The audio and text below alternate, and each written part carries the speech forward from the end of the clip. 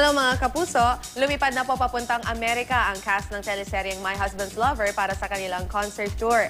Kasama sa tour sina Tom Rodriguez, Dennis Trillo, Carla Abellana, Victor Basa at Pancho Magno. Makakasama rin nila ang mga singer na sina Kula Desma at Jonalyn Veray. Excited sila dahil maraming Pinoy ang naghihintay sa kanila. Mabibili rin po sa concert ang mga MHL mer- merchandise gaya po ng t-shirts, DVDs at ang Tom Den album.